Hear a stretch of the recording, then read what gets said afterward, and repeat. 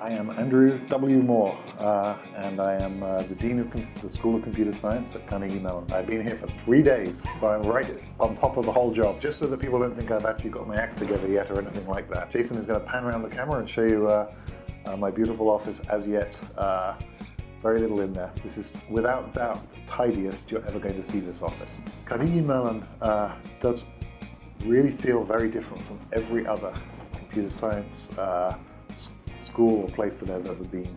There's just a bunch of people here who are very excited about the future and don't really worry about much else other than impacts on the future. You immediately, when you're talking to the folks around here, you're talking about what does this mean? How can we make this better? And for lots of people on the campus here, that fact that everyone around here is passionate and thinking about the future of the world uh, keeps us all sort of young and excited. In 2006, uh, I moved to Google, where myself and uh, another Carnegie Mellon alumnus, uh, Kamal Nigam, uh, we started up the Google Pittsburgh office, uh, which has grown. Uh, it now occupies several floors of a very large development nearby. Right now, in 2014, Google is one of the most important places for the future of technology. I think the same is true of Carnegie Mellon.